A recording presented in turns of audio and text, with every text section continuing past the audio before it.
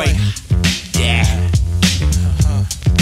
Royce 5'9. Tony Touch. The year is 2000. Mr. Quick Slap Punch. Uh, uh, uh, uh. What? Yo, yo, I'm entirely too hard to listen to talk. I get raw and get this clip and draw. Send you to Mars. Niggas with hitting hearts get written off. Find yourself, bruh.